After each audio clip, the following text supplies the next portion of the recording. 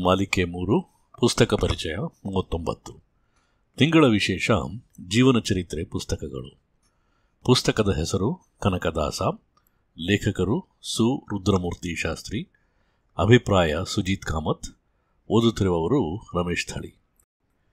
ಈ ಕಾದಂಬರಿ ಕುರಿತು ವಿಮರ್ಶಿಸುವ ಯೋಗ್ಯತೆ ನನಗಿಲ್ಲ. ಯಾವ ಕಾದಂಬರಿಯೂ ನನ್ನನ್ನು ಇಷ್ಟೊಂದು ತಲ್ಲೀನಗೊಳಿಸಿರಲಿಲ್ಲ.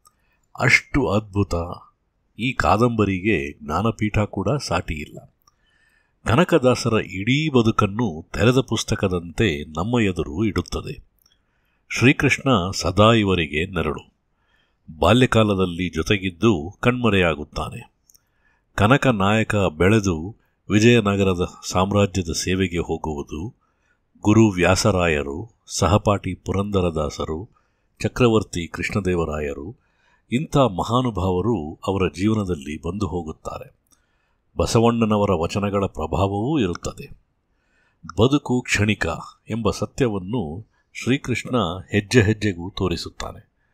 ತಂದೆ, ತಾಯಿ, ಪತ್ನಿ ವಿಯೋಗ, ವಿಜಯನಗರ ಸಾಮ್ರಾಜ್ಯದ ನಾಶ ಈ ಎಲ್ಲ ದುರಂತಗಳಿಗೆ ಮೂಕಸಾಕ್ಷಿಯಾಗಿ ನಿಲ್ಲುತ್ತಾರೆ.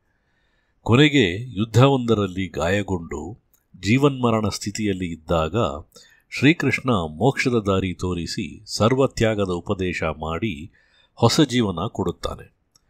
ಕನಕನಾಯಕ ಈಗ ಕನಕದಾಸ.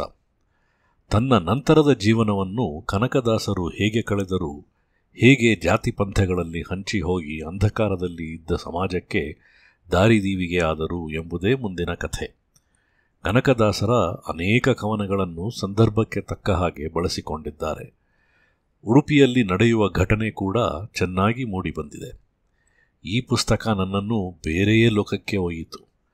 ಒಂದು ಹೊಸ ಅನುಭವದ ರೋಮಾಂಚನ. ಇಂತಹ ಉದ್ದಾಮ ಗ್ರಂಥವನ್ನು ಕನ್ನಡಿಗರಿಗೆ ನೀಡಿದ ಶ್ರೀ ಶಾಸ್ತ್ರಿಗಳಿಗೆ ಕೃತಜ್ಞತೆಗಳು.